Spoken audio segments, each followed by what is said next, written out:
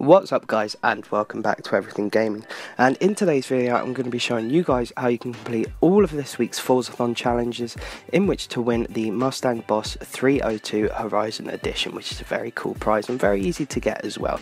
Uh, so without further ado let's get stuck into the first challenge here which is very very easy. Uh, just want you to perform 10 ultimate air skills to win the Mustang Boss 302 Horizon Edition like I said not hard at all. Next one wants you to complete a bucket list challenge to win 3 wheel spins friends uh, the third challenge here just wants you to perform 5 ultimate skill chains to receive 55,000 credits. And the final challenge wants you to get 3 stars on the Timber Mill danger sign to earn 50,000 XP. So all very easy challenges. Uh, let's get stuck in on the first one here anyway, uh, which wants you to perform 10 ultimate air skills to win the Mustang Boss 302 Horizon Edition. Now I recommend you come over here, just below the airfield. You can be in whichever car you want. I recommend 4-wheel drive but it's entirely down to yourself. Doesn't have to be a necessarily quick car but obviously the faster the better in most circumstances.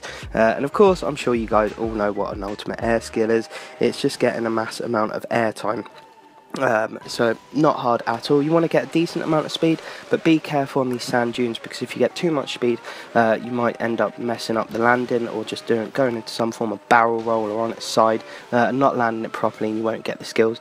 But 10 ultimate uh, air skills, very very easy. It'll take you barely a minute to do. Uh, the next challenge here wants you to complete a bucket list challenge to win three wheel spins. Yet again, another easy and quick one, depending on which bucket list you pick. Now there are two different types. You've got the bucket list and a bucket bucket list blueprint, uh, which are ones that you can create or created by friends or random people, or whatever. Now, I did just a generic the bucket list one, uh, set set out by Turn 10, the guys obviously that made Forza.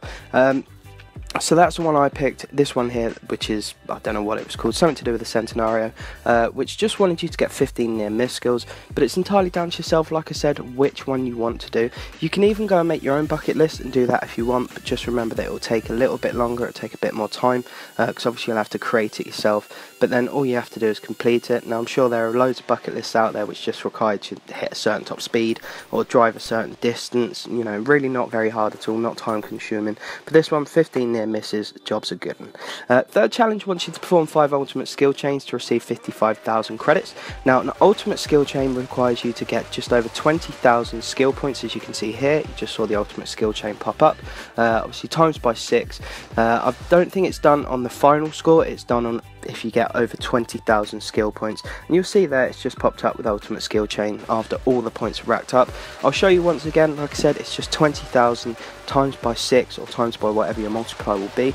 Uh, and you'll see the Ultimate Skill Chain pop up. As soon as that pops up, stop your car, let the skills rack up and do it again four more times.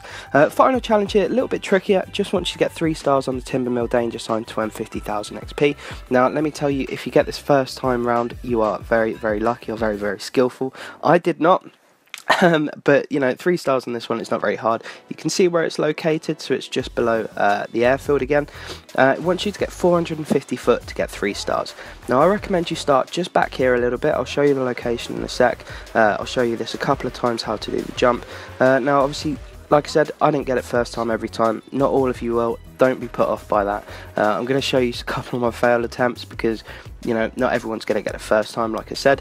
It does matter how you hit the ramp, and it probably does matter what car you're in. So, of course, I'm in my Porsche 918 Spyder because it's a very, very quick car, and it's got very good acceleration, which is key because you will not have a massive run-up, as I'm showing you here. So it's just directly behind the danger sign, or in front of it even located in between these trees and it's a straight shot uh, and you want to get just over about 100 mile an hour to do the jump. Now so you can see there I hit the, the ramp a little bit on the right hand side so I ended up going into a roll. Uh, so if you hit it pretty much dead on uh, or at a straight angle and you're not going turning into the ramp or anything then you'll hit it straight and you'll land straight as well. Uh, so yeah, this attempt I got over 500 foot and all you need is 450. Uh, all in all, it took me about literally two minutes to try a couple of attempts because obviously the rewind tool very helpful. Um, so it's not hard, it just might become a bit of a ball ache for some of you guys if it's taking you more than a few attempts. Uh, but anyway guys, I hope that you enjoyed this, I hope this helped you out of course.